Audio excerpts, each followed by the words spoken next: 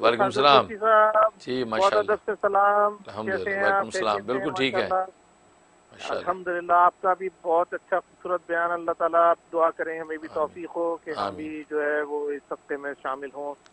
और दूसरा ये कि आपका जो इससे पहले जो प्रोग्राम था राफियों का बहुत खूबसूरत बहुत खूबसूरत बहुत माशाल्लाह बहुत बहुत अच्छा हज़रत बस मुझे एक ये सवाल था मेरा कि हम दुआ जो मांगते हैं अल्लाह ताला से और उसमें वो क्या हम जो दिल में वो होता है वो तो मांगते ही हैं, लेकिन बहुत सी दुआएँ ऐसी होती हैं जो याद नहीं होती हैं, ज़ाहिर बात है वो हम उसको पढ़ कर पढ़ लेते हैं।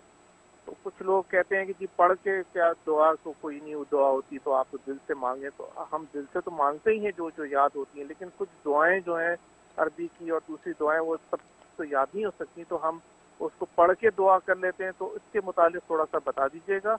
और खास दुआओं की दरख्वास्त है। जी। खैर अस्सलाम वालेकुम। वसलाम बकिया वीडियो देखने से पहले वीडियो को लाइक करें राहम टीवी चैनल को सब्सक्राइब करें और बेल आइकन पर क्लिक करें। शुक्रिया। बहुत शुक्रिया बहुत शुक्रिया। माशाल्लाह आसिफ साहब, आप सैक्रामेंटो से बाकायदा कॉल करते हैं। सबसे बड़ी चीज़ हमारे प्रोग्राम से पसंद करते हैं, आप अप्रिशिएट करते हैं। अल्लाह ताला आपको जजा खैर दे और हमारी खिदमत हक़ को कबूल मंजूर फरमाए। हमारी लफ्ज़ें कोताहियाँ अल्लाह तबारक व ताली माफ़ करे। और बाकी आपने सवाल बहुत खूबसूरत किया है। हाँ दुआ असल तो दिल से जो मांगी जाती है, असल दुआ तो कहते हैं उसी को है। अल्फाज का रट लेना, ये असल में दुआ नहीं होता। दुआ की हकीकत ही होती है कि दिल से मांगी जाए। लेकिन अल्फाज के साथ जो है ज़बान से जो पढ़ी जाती दुआ, वो भी दुआ ही होती है। क्योंकि ज़ाहिर को आप जैसे बता रहे कि सारी दुआएँ तो ज़बान याद नहीं होती, बहुत सी मसनून दुआएँ जैसे मुनाजात मकबूल है। हज़रत हकीमुलम्मत मौलाना शफरी थानवी रही ताला की तो हर दिन की मंजिलें बना रखी हैं। तो पूरे हफ़्ते की सात मंजिलें बनी हुई हैं, उसमें बेशुमार दुआएँ अब वो दुआएँ इंसान तिलावत करता है। लेकिन उसको दिल की गहराई से ही मांग रहा है कि अल्लाह इसमें जो मांगा जा रहा है, मैं दिल की गहराई से मांग रहा हूँ।